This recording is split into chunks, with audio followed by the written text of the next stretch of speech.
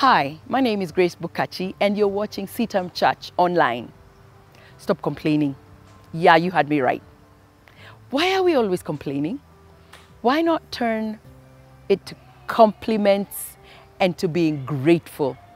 The reality is things are hard. It is harsh. Um, we've had to adjust our lifestyles. We've had to consider doing things a little bit differently. But I've found myself alerting myself and guiding many around me. Stop whining. Yeah, it is not easy. And in this season in Kenya, this, it's, the COVID cases are going up and it's uncomfortable and there's fear.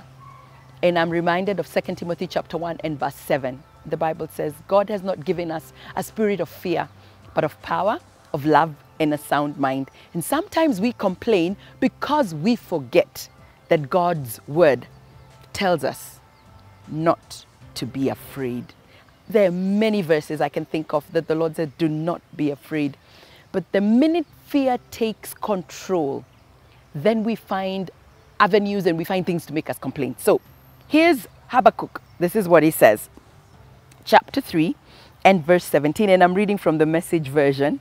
It says, Though the cherry trees don't blossom and the strawberries don't ripen, though the apples are worm eaten and the wheat fields stunted, though the sheep pens are sheepless and the cattle barns empty, I'm singing joyful praise to God. I'm turning cartwheels of joy to my Savior God.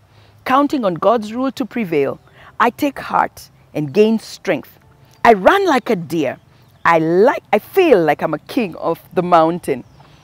What interesting statements before those verses at the end that um, I'm singing joyful praise. That even though there's no fruitfulness, I recently planted a patch of um, spinach and sukumas and cabbage and, and, and what are they called? Beetroots.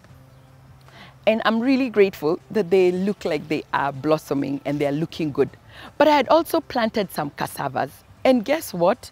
They didn't quite look, they didn't quite catch. And as my little kitchen garden, some of the plants shika, some of the plants get to grow and some don't. Perhaps you're in that situation and you're a fearful parent. Perhaps you've not been able to connect with your child, you've not been able to connect with your spouse. And so it is easy to complain rather than to say, Lord, I'm still going to praise you. I find great joy. I find overwhelming energy just being able to sing praises to God even in this season. And that's what I'm encouraging you to do. Stop complaining. You heard me. Just tell the Lord, I need you. I can do this with you. Even when there's no fruitfulness, I'm trusting you. Maybe you're not at that place and you really would want to complain. Let me know about it. Yes, right now, inbox and say, Pastor Grace, I don't understand how. I don't know either. But I have chosen not to complain, but to thank God. So, can I pray with you?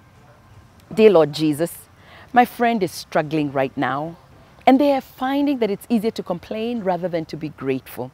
I plead your precious blood over their life, and I ask, Sovereign Lord, that you will give them an ability to sing or to listen to songs that lift their spirit, and they will find that instead of complaining, instead of entertaining fear in this very uh, unstable season, they will find joy in you. In Jesus' name I pray. Amen. Please subscribe.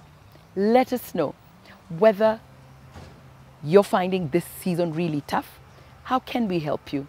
Looking forward to seeing you next time on CITAM Church Online.